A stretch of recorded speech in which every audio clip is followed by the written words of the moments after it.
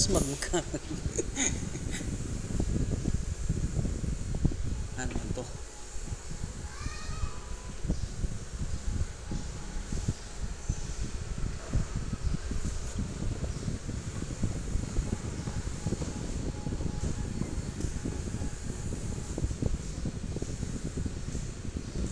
Di salamat kay sa naghalad og mensahe no. Wa medyo kan wala din. Ana matay pinagipod na wa pa na kasi. Kanang nalin sila matukulian ato nila. Kasi bahato ka daw sila ng wa. Bahato ka daw sa ilang panalangin siguro. So, nini nga kabutangod salamat kayo sa Ginoo sa iyang ta magsuot sa pagsipa pagdayon sa bilinong pangalan. Ah, ang ato karon nga minsay ni kabutangod ng suot ang mga panalangin ngadto kanila nga adunay kahadlok o pagtahod o misalig sa Dios. Adunay kahadlok o pagsalig ngadto sa Ginoo. Tumakita ni Salmo kapitulo 115 hapon Kunya versikulo 12 ta ah uh, versikulo 11 adun sa versikulo 15. Uh, pwede ta mula sa pagsunod sa versikulo 18. Ang basahon minsun ang versikulo 11 lang mao ni ang atong mabasa diri. Kamo nga nagakahadlok sa Ginoo, salig diha sa Ginoo, siya ang ilang tabang o ang ilang tabi. Magambot ta, ikaw Ginoo magapanalangin sa amo karon Ginoong Dios nga mensahe nga patalunghog patalunghogan ikan kanimo o utog-utog Dios nga doon na kay makuha nga mga uh, malig-on nga sukaranan sa amo ang pakimabuhi adlaw-adlaw tanan samtang nagapaabot kami sa imong pagbalik. Sa ngalan ni Kristo Jesus nga Ginoo maluluwas. Amen. Okay. Ako tanawon diri pagsuon ang mga panalangin sa mga tao nga adunay kahadlok o pagsalig ngadto sa Dios. Sa bersikulo 11 ato sa i-discuss mo isunog unsa man ning kahadlok kay kita nasayd man ta na lahi man atong pagsabot anang punong kahadlok good kay kasana lang mangabang magsunog balay. Mayon nga o kana o pabangan man na balaya pero pag ibalo nimo haunted house dili ka mo dayon og abang kay hadlok ka kay naay mga daghan na muyo diha patud pa nila na kanto bisag kun sa na istorya. Kani nga kahadlok ang gisulti diri mga igsoon, dili ni parehas ang kahadlok ng hurol-hurol na atong madunggan diya sa umakita sa mga salida. Kung dili kini nga kahadlok mga igsoon, buti pasabot na nga mao ang pagrespeto ug pagtahod nato sa Ginoo. Mao na buti pasabot anang pagkahadlok. Masalan tintalog kasi mo ang barkada. Sige bro, inom ka red horse. Maini kitambal man siya sa coronavirus. Ikaw ang so, dili ka magpadala kay nasayod ka ng ginoo, dili mo sugod may suon na niya ang mga anak pag inom-inom o pinom. No? Tintalon ka bisan sa nalapit sa kailaya, dili ka mo so, dili ka mo compromise may suon, dili ka mo kuyog nila. Tungod kay nasayod ka nga masuko ang ginoo sa maong nabutan. No? Mao na diha mo igsoon ang gitawag kahadlok. Para sa usa ka anak, oh, Ngayon dahil nga, ato ta dito, maglulat ta dito, di sa kang puli sa ato manay, kay human sa itong klase, maglulat sa kang basketball. O, bisa kung sa may son, dala, dala sa mga barkada. Pero ang itubag sa mga bata, dili ko kay basig masuko akong papa, lugay ko ka uli. Mauna ako din pasabot, pagsuon anang pulong, kahadlok sa kahadlok.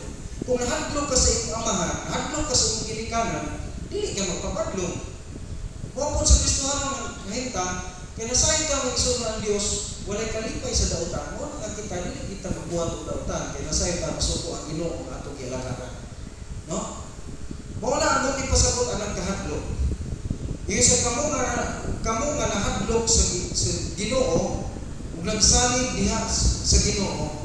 Tanaw na to kung sa God blessing ng isun sa tao may kahadlok sa Dios ug sa tao nga nagsalig sa Dios. Magkuyaw ka ginang kahadlok sa Dios, kaya kung di ka mahadlok sa Diyos, di wala sa kinasalig sa Diyos.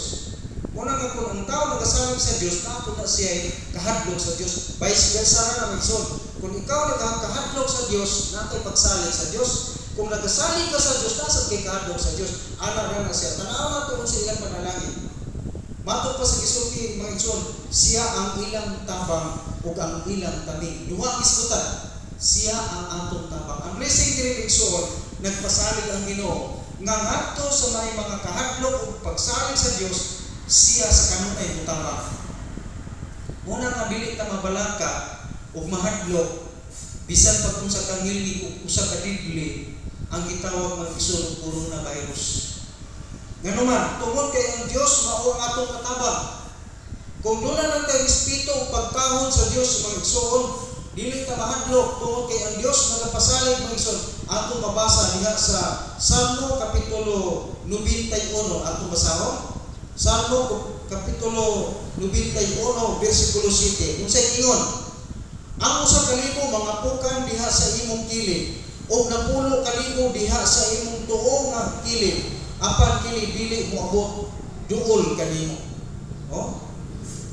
Pinaagi lamang sa imong mga mata ikaw mutan-aw makita o makakita sa balos sa dautan. Abi ninyo mga igsoon kini mga virus, kini mga didli karon nga mga makamatay nga mga sakit mga igsoon.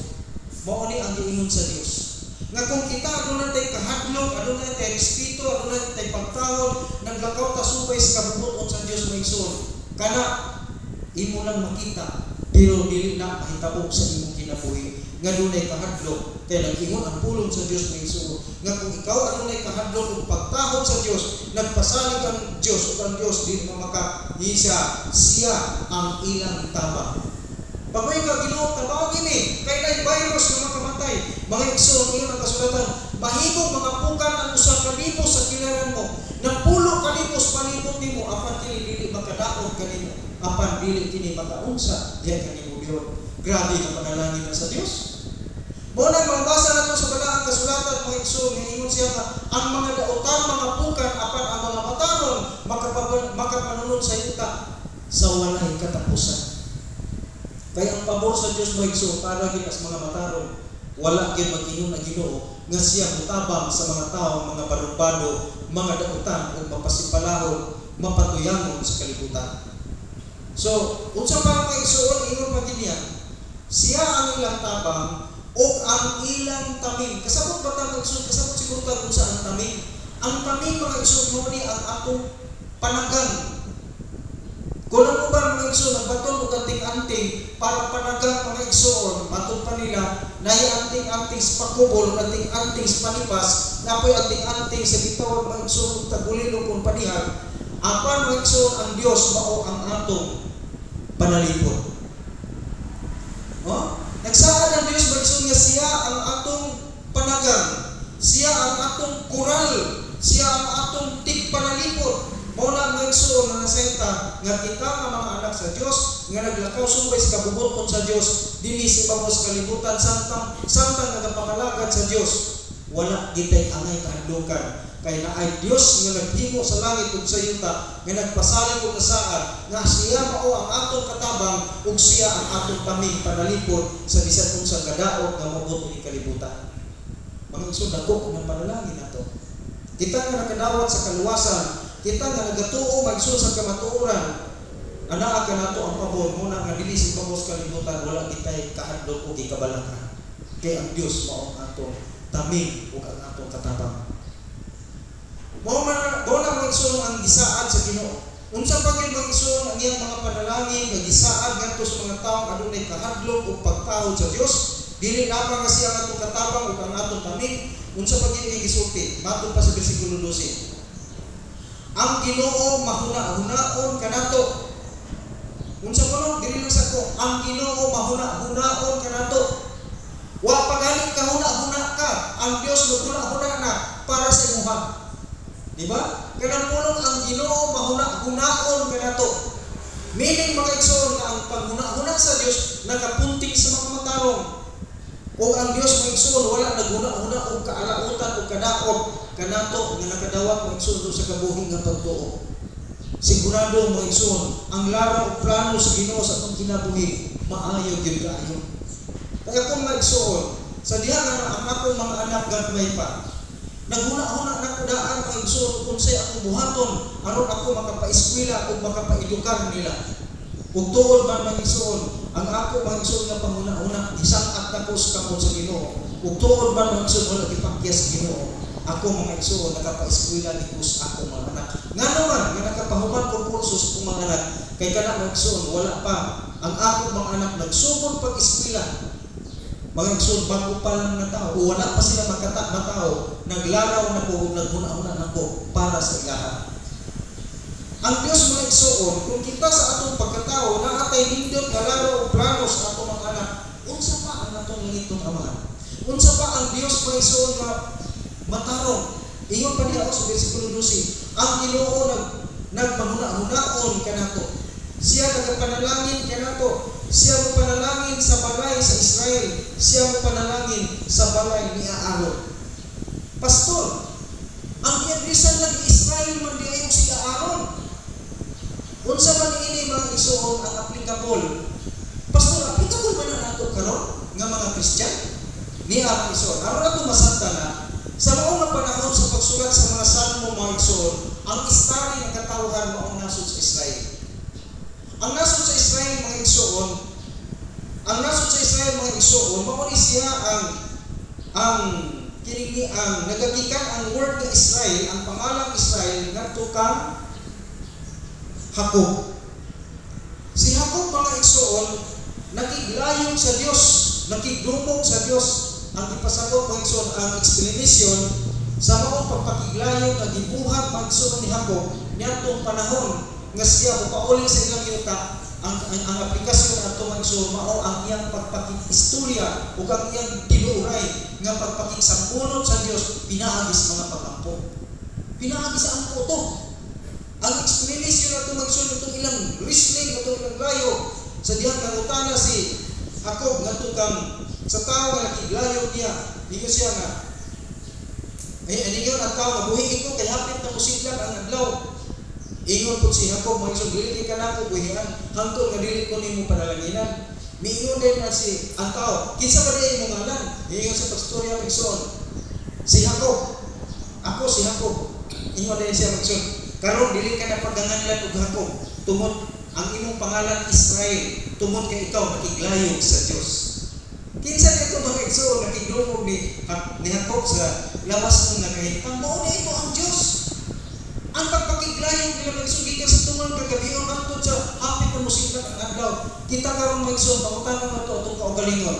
Magkahimo kata og ampo sa Ginoo sulod sa upat ka sige atong ampo gani magsun nga ini panahon sa devotional mura na gani telegrama. Di ba? Pero ang ampo ni Jacob magsun sa panahon nga duna si panginahanglan kay ini tumura muling siya sa iyang kaugalingong yuta. Abi ninyo magsun naa sila kung panginahanglan kay nahadlok siya ni isaw na iyang gi iyang igsoon iyang kaluha kay mo magibunta to ang panalanginan pero kay natakaon sa tuta ito tawana o to ang panalangin muta para niya nahapag ang ako. Si isaw magsuon pwede magsubuan ni ako. Muuli na gito ako gito ihawon.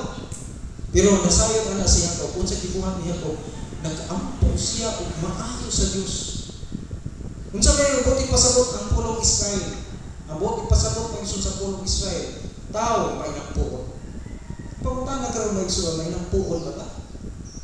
Mauna mga isun, tanawa unsa ang saat sa panalangin, ngadtos mga tao may inampuon sa Dios. Karon yan po lagi pastor. Og ni Aaron. Kinsa man ni si Aaron. Ang distansya sa kinabuhi ni Jacob ni Aaron mag-isun layuan. No, layo kayo. Kay si Aaron, migabaw ang iyang pangalan, Nitong panahon mga isun nga migawas na sila gikan sa yuta sa pagkaulipon kauban ni Moises. Unsa may ang aplikasyon nga igsoon ang pulong Aaron nagpasabot mga igsoon og mamumulong. Naglikramo kay si Moises. Naglikramo si Moises mga igsoon nga Ginoo dili ko tapos na moadto dito sa Ehipto para pagluwas sa imong katawan kay ako nga nga di ko manulti. Tungod mga igsoon kay Ginoo maging Ginoo. Ngano kayo magkangadili ka manulti nga ako may naghimo sa mga dila. Buti pasabot gipasabot gi mga igsoon gi gi gipursige gid sa Ginoo si Moises nga moadto dito wala dili ka may manulti total ako may nagbuhat sa imong dila. Pwede na ko lang imong pagkanga nga ang espiritu na imong istorya. Pasultihon ka na ang espiritu nga manulti. Pero maigsoon kay gahi mo gigulo si Moises dili na gigud katuon magsun sa yuta sa Ehipto. Mo to mi siya, "To ana dito imong igsoon siya Aaron, ako nang gipauna dito." Buot ipasabot ang pulo mamumulong mga igsoon. Si Aaron ang pasabot nga ang ang tiyon nga Kristo hamon. Ikaw ug ako kita gitawag tag mga mamumulong sa pulong sa Ginoo nga atong ipalugilon isulti ngadto sa mga tawo wala makasabot sa kaluwasan nga atong nabatan pinaagi kang Kristo. Kinahanglan na kita nga mga anak sa Dios mainampuon ta o dili ta magakaulang pagsugilon sa mayong balita ngadto sa mga tawo ignorante sa pagtuo nga atong naangkon. Mao na yung ipasabot ana. Unsa iyang giingon dili mga igsoon? Ang Ginoo naga nagamaghuna-hunaon. Siya mo panalangin kanato, siya mo panalangin sa balay ni Israel, ni mo panalangin sa balay ni Aaron. Ato na igsoon, mga Hudiyo man sila pastor, Oh, mga Hudiyo na siya, dirita karon mga igsoon para nga ma mawala ang atong pagduda. Basi sa iyong application ka ng uh, sa iyong application si pastor. Ato tanawon mga igsoon, ang Episo Kapitulo 3, Episo Kapitulo 3, versikulo 6, niya, kanang lahos ka mga igsoon sa versikulo 9, no? Ato masahon, Episo 3, 6, matong padre, nga ang mga hintil gayon, mahimong mga isig ka manununod o sa maura nga lawas o mga umalambit sa iyang saad diha ni Kristo ni Kristo pinaagi sa maayong balita. Ay salamat. Mahimo tang umalambit.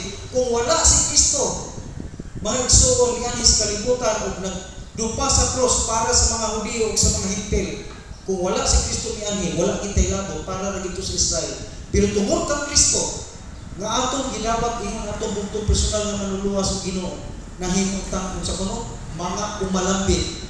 Padayon na nang basa nga niini ako gihimo nga usa ka alagad sumala sa gasa sa grasya sa Dios nga gikahatag nga kanako pinaagi sa gamhanan nga paglihok sa iyang gahom nganhi kanato kinsa mao ang ubo sa pinakaubo sa tanan nga mga balaan kini nga grasya gikahatag aron ako gayon mahimong magwawali diha sa mga hintil sa diha sa dili masusi nga mga bahandi ni Kristo. So diha lang ko taman. Magsuon sa atong gibasa, mga umalambit lagi ta. Ang kiadrisan, ang starring personality dili magsuon walay lain. Ang Israel. Pero mga igsuon, ningon ang kasulatan, tungod kang Kristo, ang maong mga saad sa panalangin, baka umalambit. Si Israel, nagpa, nagkahulugan kini mga igsoon mainumpuon. Si Aaron, nagisgot kini mga igsoon sa kitang mamumulong sa diretsong pagkasupi, mainampuon nga nagpangalagan. Sa atong pag-alagad karon sa Ginoo mga igsoon kay kini pag panulti sa pulong sa Ginoo pag-alagad man na langkong ana pagsimba. Apil na diya magsuon ang pagbasa Biblia. Apil na diya magsuon ang pagka ah pag uh, kini tawag og uh, sa bulunong sa Ginoo anang pulong Aaron meaning mamumulong diretso ang pagkasulti linangkong ang pagkasulti alagad sa Dios alagad sa Ginoo. Mainampuon nga alagad sa Dios unsay pasali sa Ginoo matong pa ang Dios kanunay naghuna-huna nato ngano man makahuna-huna magipirmi ang Ginoo nato tanaw mga igsoon tungod kay kita mainampuon Alang-alang man mga igsoon ang patalihugan sa Ginoo kadto wala naluwas unya wala mga igsoon ampo sa Dios. Una-una kanunay ikaw ug ako nga kanunay mga igsoon nga nag-ampo unya nag-alagad sa Ginoo. Unsay isulti niya? Siya mo panalangin kanato. Siya mo panalangin sa balay ni Israel. Imo palay panalaginan sa Ginoo. Imo panimalay panalaginan sa Dios. Unsa pa gyud pag-igsoon? Ha? Mo ni ang iyang kasaan. Versikulo 13. Siya mo panalangin kanila nga may kahadlok sa Ginoo. Dako ug gagmay. Buti pa sa kung ang pulong dako ug gagmay, mabata man ug matigulang, aplikable ni ha. Dili lang kay dako ug gagmay sa lawas. Bata baka ug hapton kung dili mag-igsoon, mapobre man kag badato, mga igsoon ang Dios mo panalangin basta kita may igsuon unsa ko no kita mo igsuon nagasalig dunay kahadlok o pagsalig sa Dios. Ni ang mga panalangin sa tao mga igsuon nga dunay kahadlok o pagtahod o pagsalig sa Dios. No? Siya ang atong panalipod, siya ang atong tabang ug tabi. Ya siya pag yung mga igsuon naglantaw sa atong kaugmaon. Una nga ayaw ka bala ka sa imong ugma kay magtanaw oh. Ang Ginoo nagmahuna-hunaon ka nato. Naglaraw ka magsulog, nindot nga nindot nga mabutang sa imong unahan, lapo pa ang Ginoo ana. Nagplano, tingali ko nga ang ako itong plano nga kanini ang makapatut, makapatut, makatukod ko ka akong kaugaling negosyo. Mga igsoon ang imo nakita negosyo na. Pero nakita sa Ginoo may isun lapo pa sa imong nakita. Muna nga, kung naa may nagaguna-una o nindot nga mga una-una o nindot mga plano alam sa itong kalipay o kayuhan, wala na igsoon ang Diyos na na. Ang ikinahanglan sa Ginoo magsun na alam tayo kahadlo o pagsalig sa Dios. Kung tanawa ng pasalig, iya ka kanunay huna-hunaon. Nya, kung si supay, iya kang panalanginan. Kunya, ibalik-balik yung mga igsoon ka iyang panalangin. Mo panalangin ka na to. Siya mo panalangin sa balay ni Israel. Siya mo panalangin sa balay ni Aaron. Ang tao mga igsoon nga mainampuon, ang tao mga igsoon nga nag-alagad sa Dios, iya yung panalanginan. Unsa pa sa bersikulo 13 iyang gibalik ang bersikulo 11 sa bersikulo 13 siya mo panalangin kanila nga nahadlok sa Ginoo dako o gagmay. No? Magdato man ka og mapobre nga muduol sa Ginoo. Kung dato ka nga muduol sa Ginoo mudawat ni Kristo mo alagad sa sa Ginoo unsa ka ang mo pagkadato dugangan pa na sa Ginoo. Kung pobre ka wala kay wa kay yamo unya miduol ka sa Ginoo sa isaan niya panalanginan ka, bisan pobre ka, pwede ka sa Ginoo imo og dato. Kay mo may sa Ginoo, kamo nasayod sa grasya sa atong Ginoo Hesus Kristo. Nga bisan tuod siya ka dato, apan mahimo siyang kabos, aron nga pinaagi sa iyang kagabos kamo mahimong anunahan o mahimong dato.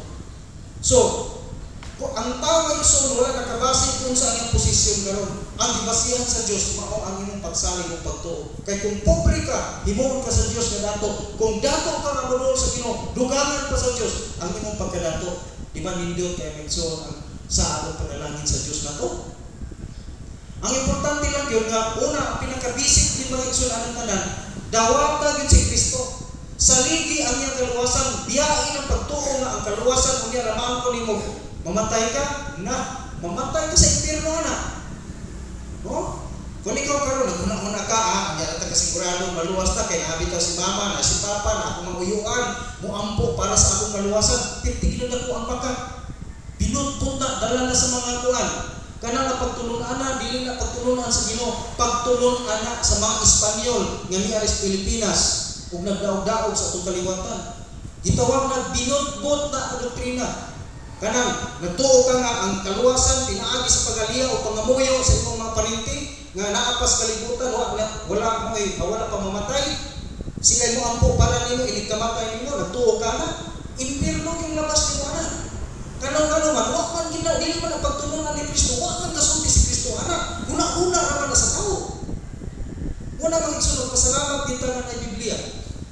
Kaya sa Biblia mabasa nato mga igsoon nga sa kalibutan natuo sila na ang mga buhi makatabang ato nangamatay pero kung nangamatay ato langit pero ato mabasa sa Biblia nga katoy mo nangamatay ato sa impierno mga igsoon mo nagampos Ginoo nga kita mga buhi. Dili kuno ta igsoon makaapas dapit sa mga pag-antos nga ilan na himutangan Nalikabot kani mga igsoon ang taong dato pag hangyo ni paghangyo sa Dios mga igsoon ni ipabalik sa, si Lazaro sa kalibutan aron sugin lang na niya lima ka igsoon na tus balay siya amahan unsa may rason sa aron sila dili makaani o makaapas ni dapit sa kasakit na atong nahimutanan. Ang mga tao to sa impierno karon mga igsoon perting pangalyupo sa Dios nga unta kita nga mga buhi pa mga igsoon makabaton og pagtuo para na di ta ma-impierno Ah, kita mga igsoon karon nakadawat ni Kristo salamat kayo. Basin ang ang ato nito mga igsoon nga kaluwasan nga naangkon sa pag-ampo itong nga taong nga impyerno. Ako mga igsoon, kinsa may tao nag-ampo mga igsoon, ayun ako sa itong kagalingon, nag-ampo ako sa ginoo nga, ginoo, gusto na ko nga diligyo ko nga impyerno. Pero mga igsoon, gawas siguro na ko, wala na ilaing tao nga nagpaluyo sa kuha, nga maluwas ko. Oh, wala. Pero ako nagtuo nga, ang Dios miluwas na ko tungod kay ang Dios naminaw ato mga tao ato sa impierno karon nagsigig ampo nga mga buhi dili makaapas nila dito sa impierno kay ang impierno magsud kay tinabibuhan dito. Pagkadaghan sa mga tao nga tuwa dito. Oh. Tungod kay sa kadaghan mga igsoon ibuto ang bulkan sa taal. Kay siyempre mga igsoon kay pinaghanan ng anak sa impierno mga kalag pagsulay ko no daog itsahin mga igsoon ug ibabuon ko na kalayo dahil mga igsoon tungod sa kadaghan nga mga kalag nga nakato sa impierno buto ang buk gibuto mga igsoon ang kinining ang taal bulkino no?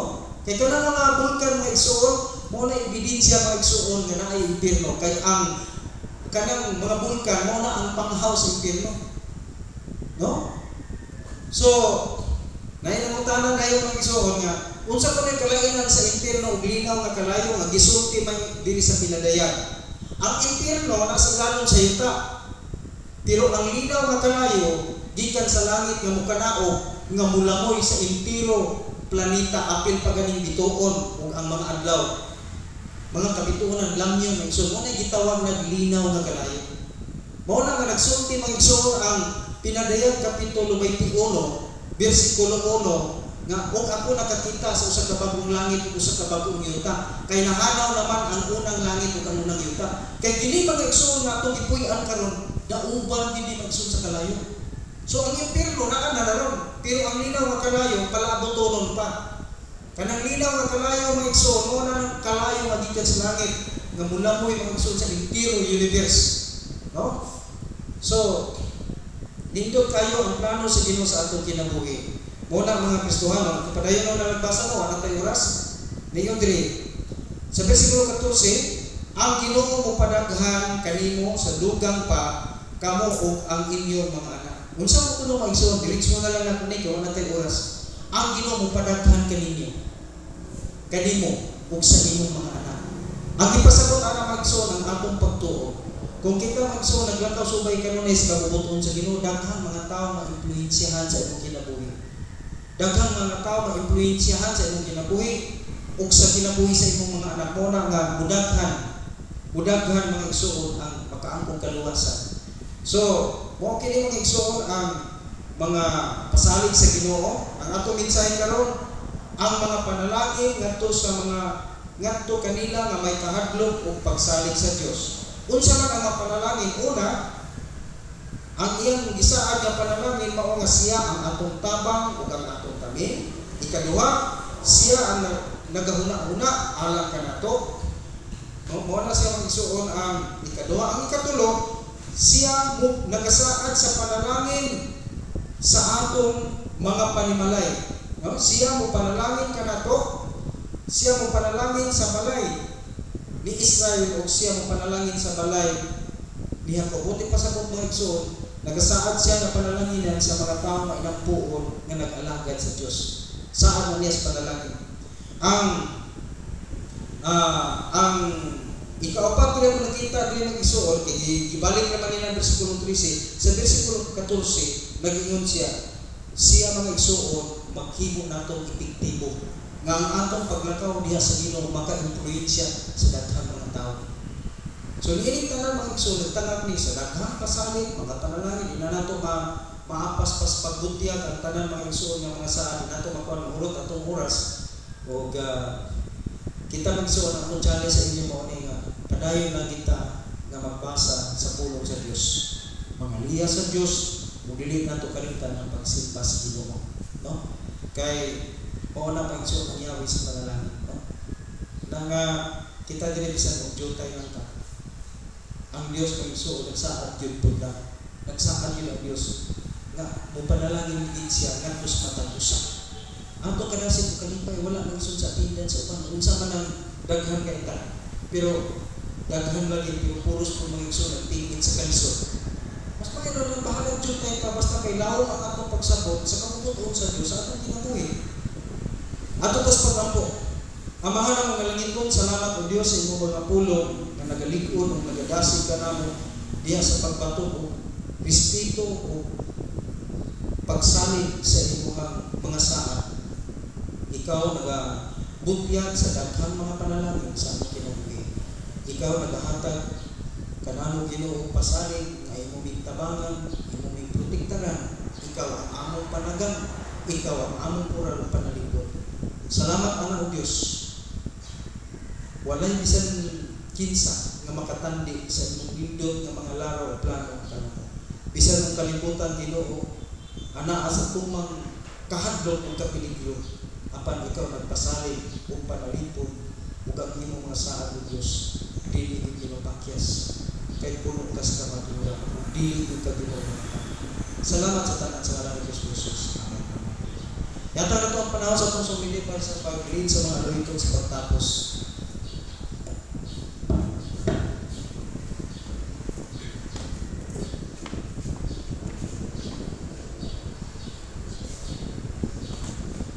Okay, may prasya ito mga pledge na free. Sa so, ito mga number 1,